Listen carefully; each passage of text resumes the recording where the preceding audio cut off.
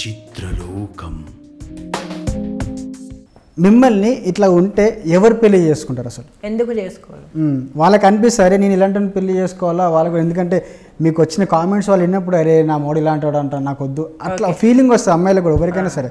అన్న అలాంటప్పుడు మాట కూడా ఎట్లా ఇప్పుడు మన ఇండస్ట్రీలో కూడా ఎంతో మంది ఉన్నారు. ఎగ్జాంపుల్ మన ఆలీ గారే ఉన్నారు.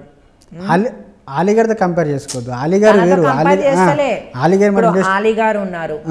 మన ఈ మూవీలో lady character lady lady character చేశాడు. తనకి మ్యారేజ్ కాలేదా? వాళ్ళు చేయడం వేరు. వాళ్ళు సినిమా మట్టుకే వెళ్ళి మరి మేము కూడా వీడియోస్ మట్టుకు అట్లా చేస్తున్నాం కదా. మేము బయట అయితే మొత్తం ఇంకా ఫోన్ పట్టుకొని టిక్ టాక్లు చేసుకుంటే ఆడవాళ్ళకి తిప్పుకుంటే అయితే తిరుగుతలే కదా. మరి అట్లా తెలియకపోతే ఇంత కామెంట్ ఎందుకు వస్తుంది? ఇంత నెగిటివ్ ఎట్లా పోతుంది? అదే పెద్ద పెద్ద వాళ్ళకి కూడా వస్తున్నాయి. నువ్వు యూట్యూబ్లో కొట్టి చూడు. నేను కొంతమంది TikToks TikTok stars పేరు చెప్తాను. వాళ్ళ గురించి ఒక సింగిల్ లైన్లో చెప్పేసేయాలి. చెప్పండి. కాకిజనగర్ సాయి. తను ఒక మంచి వ్యక్తి. ఉప్పల్ బాలు. తను ఒక మంచి వ్యక్తి. అందరు మంచి వ్యక్తి ఒకరికి ఇచ్చింది ఇంకొకరికి ఇవ్వద్దు ఓకే ఉప్పల్ వాళ్ళు తను ఒక మంచి వ్యక్తి. ఎవరన్నా ఓకే ఉప్పల్ బాండ్ గుర్తుకొచ్చింది. అన్నా మేము ఒక మాట ఒక మాట. ఉప్పల్ వాళ్ళు మంచి వ్యక్తి అంటే అందరికి ఇచ్చినట్టు ఇవ్వదు అన్నారు కదా.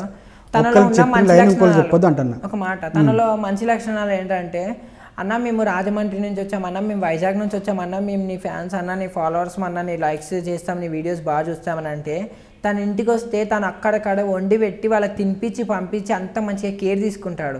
అలాంటి వాడిని మంచివాడు అనుకుంటే చెడ్డవాడైతే అనలేను కదా నేను. నన్నైనా కారణస్ ఆయనైనా సొంత తమ్ముళ్ళలాగా ట్రీట్ చేస్తాడు తను. తను కూడా ఒక వీడియోస్ మట్టుకు అలా ఉంటాడు కానీ బయటికి అలా ఉంటాడు తను కూడా చాలా మంచి వ్యక్తే. తప్పుగా అయితే ఎవరు అనుకోవద్దన్న వీడియోలో మట్టుకు అట్లా ఓకే. రీసెంట్లీ ఎందుకు ఉప్పల్ బాలు గారిని అందరూ బెదిరించారు ఎందుకు? ఇక్కడ వీడియోస్ వచ్చి ఏమో తనకి పడని వాళ్ళు చేసినట్టున్నారు కానీ దాని అదే చాలా బూతులు కూడా అన్నారు. నేను మళ్ళీ- ఇక్కడ హైదరాబాద్లో లేను దాని గురించి నాకు అంత తెలియదు. మీ అన్నయ్య మీ అన్నయ్య అన్నారు అన్న గురించి తెలియదు? అన్న అంటే నేను ఇంకా తనతో ఒక వన్ వీక్ అవుతుంది టచ్లో లేను. ఆ సంఘటన ఇప్పుడు వన్ మంత్ టెన్ డేస్ అవుతుంది వన్ మంత్ ఏం కాలేదు టైం పైన జరిగింది ఆ ఇష్యూ వన్ మంత్ ఏం కాలేదు టెన్ డేస్ అవుతుంది. నాకు తెలుసు అదే ఆ ఇష్యూ నేను చూసిన టిక్ టాక్లో కూడా కానీ టెన్ డేస్ అవుతుంది అంతే. తెలియదు విషయం గురించి తెలియదు? దాని గురించి తెలియదు. కనుక్కున్న తర్వాత చెప్తాలే నీకు కాల్ చేసి. ఎందుకు అయిందో నాకెందుకు? మీ అన్న కదా తెలిసి ఉంటుందేమని అడిగిన. మీ అన్నకు అన్న- యొక్క యోగక్షేమం చూసే బాధ్యత తమ్ముంది కదా. అండ్ నిమిష్ చౌదరి. వాళ్ళ గురించి నాకు తెలియదు నిమిష్ చౌదరి వాళ్ళు టచ్లో వాళ్ళంతా నాకు టచ్లో లేరు కాబట్టి వాళ్ళ గురించి నాకు అంత ఐడియా లేదు. ఆర్యన్ అజయ్ ఏమో అన్న. నేను ఎంత అంతా ఎక్కువ నేను పట్టించుకోను అన్న. వాళ్ళంతా అన్న వాళ్ళందరూ నాకు అంతగా తెలియదు ఓకే. సో లాస్ట్ అండ్ ఫైనల్గా కూలుకుందాం.